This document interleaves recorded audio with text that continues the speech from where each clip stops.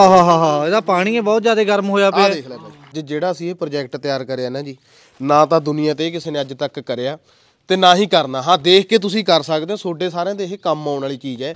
ਇਹ ਕੰਮ ਕਾਰਨ ਬਹੁਤ ਬੰਦਿਆਂ ਦੇ ਬਿਜ਼ਨਸ ਰੁਕ ਜਾਂਦੇ ਆ ਜੀ ਠੰਡ ਦੇ ਵਿੱਚ ਆ ਕੇ। ਅੱਛਾ। ਹਾਂਜੀ ਵੱਡੇ ਵੱਡੇ ਬਿਜ਼ਨਸ ਨੇ ਜਿਹੜੇ ਉਹ ਰੁਕ ਜਾਂਦੇ ਨੇ ਤਾਲਾ ਲੱਗ ਜਾਂਦਾ ਬਹੁਤ ਘਰਾਂ ਦੀ ਰੋਟੀ ਨੂੰ। ਠੀਕ ਹੈ ਅੱਜ ਤੁਹਾਨੂੰ ਪਰੇਸ਼ਾਨ ਹੋਣ ਦੀ ਲੋੜ ਨਹੀਂ ਆਪਾਂ ਉਹ ਮੁਸ਼ਕਲ ਦਾ ਹੱਲ ਕੱਢ ਕੇ ਲਿਆਏ ਆ। ਠੀਕ ਹੈ ਇਹ ਮੈਂ ਤੁਹਾਨੂੰ ਇੱਕ ਡਾਇਗਰਾਮ ਬਣਾਈ ਹੈ। ਸਾਰਿਆਂ ਦੇ ਕੰਮ ਆਊਗੀ ਇਹ ਇਹ ਪ੍ਰੋਜੈਕਟ ਸਾਰਿਆਂ ਦੇ ਕੰਮ ਆਉਣ ਵਾਲੀ ਇਹ ਇੱਕ ਡਾਇਗਰਾਮ ਹੈ। ਬਾਹਰ ਨਿਕਲੀ ਬਾਈ ਮਾੜਾ ਜਾ ਬਾਹਰ ਨਿਕਲੀ। ਇਹ ਡਾਇਗਰਾਮ ਬਣਾਈ ਹੈ ਜੀ ਆਪਾਂ ਨੇ ਐਡਾ ਕ ਟੋਆ ਪੱਟਿਆ ਆਹ ਦੇਖ ਲਓ ਤੁਸੀਂ। ਡੇਢ ਤੋਂ 2 ਫੁੱਟ ਦਾ ਟੋਆ ਤੇ ਇੰਨਾ ਚੌੜਾ ਇਹ। ਠੀਕ ਹੈ। ਉਦੋਂ ਬਾਅਦ ਆਪਾਂ ਪਾਇਆ ਜੀ 15 ਬਾਈ 15 ਦਾ ਕਾਗਜ਼ ਆਪਣੇ ਕੋਲੇ। ਵਿਛਾ ਬਾਈ ਕਾਗਜ਼। ਠੀਕ ਹੈ। ਵਿਛਾ ਦੋ ਕਾਗਜ਼। ਇਹ ਤੁਹਾਡੇ ਸਾਰਿਆਂ ਦੇ ਕੰਮ ਆਉਣ ਵਾਲੀ ਚੀਜ਼ ਹੈ ਜੀ। ਇਹ ਕੰਮ ਕਾਰਨ ਵੱਡੇ ਵੱਡੇ ਬਿਜ਼ਨਸ ਨੇ ਜਿਹੜੇ ਉਹ ਠੱਪ ਹੋ ਜਾਂਦੇ ਨੇ। ਬਹੁਤ ਲੋਕ ਪਰੇਸ਼ਾਨ ਨੇ। ਮੈਂ ਵੀ ਬੜੀਆਂ ਵੀਡੀਓ ਪਾਈਆਂ ਨੇ ਇਹ ਚੀਜ਼ ਦੀਆਂ। ਸਰਦੀਆਂ ਗਰਮੀਆਂ 'ਚ ਵੀ ਕੰਮ ਆਊਗਾ ਹਾਂਜੀ ਇਹ ਗਰਮੀਆਂ 'ਚ ਵੀ ਕੰਮ ਆਊਗਾ ਇਹ ਸਰਦੀਆਂ 'ਚ ਵੀ ਕੰਮ ਆਊਗਾ। ਅੱਛਾ। ਸਭ ਤੋਂ ਜ਼ਿਆਦਾ ਇਹ ਛੋਟੇ ਬੱਚਿਆਂ ਵਾਸਤੇ ਵੀ ਫਾਇਦੇਮੰਦ ਹੈ। ਬੱਚੇ ਆਪਣੇ ਹਰੇਕ ਦੇ ਘਰੇ ਹੁੰਦੇ ਨੇ ਤੇ ਤੁਹਾਡੀ ਸਿਹਤ ਵਾਸਤੇ ਵੀ ਸਭ ਤੋਂ ਜ਼ਿਆਦਾ ਫਾਇਦੇਮੰਦ ਹੈ। ਇੰਨਾ ਕੁ ਕੰਮ ਕਰ ਲਿਓ ਤੁਸੀਂ।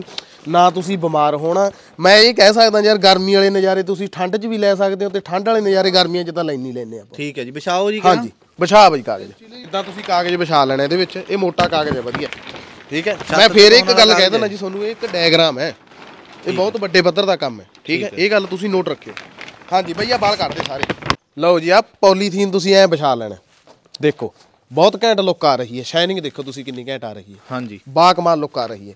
ਉਸ ਤੋਂ ਬਾਅਦ ਕੀ ਕਰਨਾ ਜੀ? ਪਾਣੀ ਦਾ ਆਪਾਂ ਭਰ ਲਿਆ ਜੀ ਇਹ ਫੁੱਲ। ਹਾਂਜੀ। ਆ ਆਪਾਂ ਨੇ ਪ੍ਰੋਜੈਕਟ ਲਾਇਆ ਆ ਵਰਤਿਆ ਆਪਾਂ ਨੇ ਗੀਜਰ। ਗੀਜਰ। ਗੀਜਰ। ਠੀਕ ਹੈ। ਜਿਹੜਾ ਤੱਤੇ ਪਾਣੀ ਵਾਲਾ ਹੁੰਦਾ ਲੱਕੜਾਂ ਤੇ ਚੱਲਦਾ। ਲੱਕੜਾਂ ਤੇ ਚੱਲਦਾ। ਇੱਧਰ ਆਪਾਂ ਲਾਤਾ ਜੀ ਟੂਲੂ ਪੰਪ। ਟੋਲੂ ਪੰਪ ਪਾਣੀ ਚੱਕਣ ਵਾਲਾ? ਪਾਣੀ ਚੱਕਣ ਵਾਲਾ। ਠੀਕ ਹੈ। ਜਿਹੜਾ ਪਾਣੀ ਨੂੰ ਘਮਾਵੇ। ਹੂੰ।